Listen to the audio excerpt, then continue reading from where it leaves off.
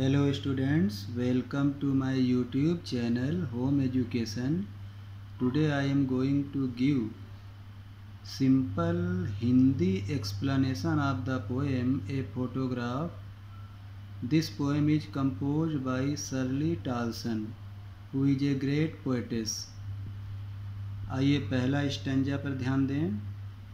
पहला स्टेंजा में कवित्री जी कहती हैं the cardboard shows me how it was when the two girl cousins went paddling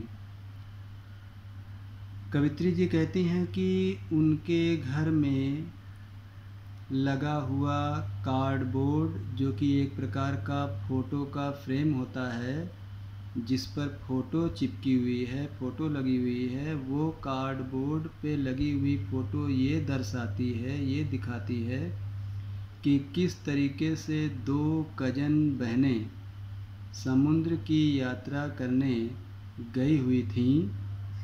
Each one holding one of my mother's hands इन बहनों ने, इन cousin बहनों ने मेरी माँ का हाथ पकड़ा हुआ था।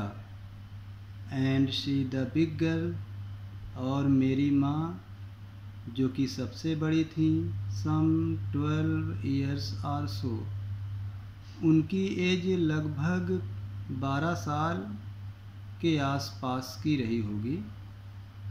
All three stood still to smile through their hair at the uncle with the camera ये तीनों बहनें।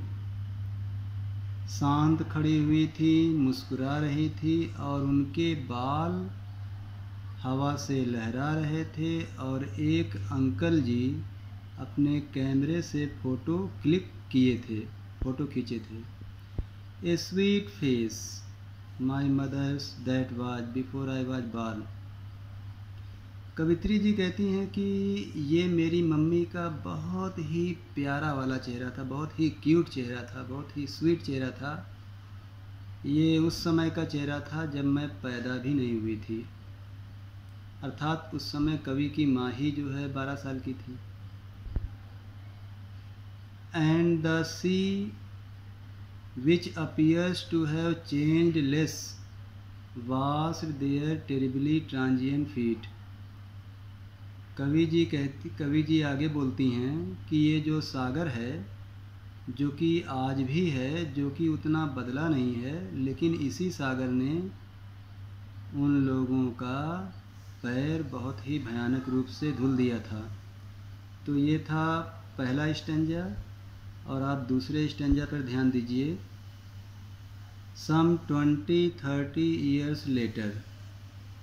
She had laugh at the snapshot कोई बीस या तीस साल बाद,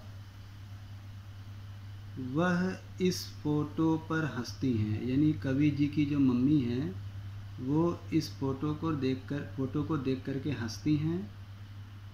See Betty and Dolly she had say and look how they dressed us for the beach और हँसते हुए कवित्री से कहती हैं कवित्री उनकी बेटी है, हँसते हुए कवित्री से कहती हैं कि बेटी और डाली को देखो।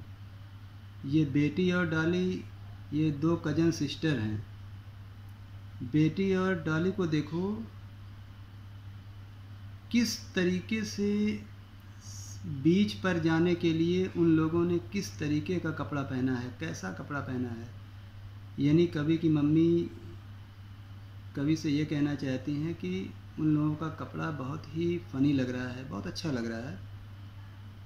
दसी हा, the sea holiday was her past mine is her laughter कवि की जो मम्मी थी, उनको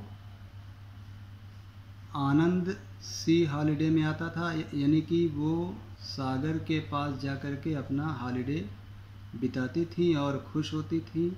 माइन इज़ हर लाफ्टर और जबकि मुझे जो खुशी मिलती थी, वो मेरी मम्मी की हँसी से ही खुशी मिलती थी। Both wry with the laboured ease of loss बहरहाल दोनों की खुशियाँ धीरे धीरे करते हुए खो गई हैं। अंतिम स्टेंजा में कवित्री कहती हैं now she has been dead nearly as many years as that girl lived फिर कवित्री जी कहती हैं कि, अब मेरी मम्मी को मरे हुए लगभग उतने वर्ष हो गए, जितने वर्ष की वो उस फ़ोटो में दिख रही थी, अर्थात लगभग बारह साल। And of this circumstance there is nothing to say at all और इन परिस्थितियों में अब कहने के लिए कुछ नहीं बचा है।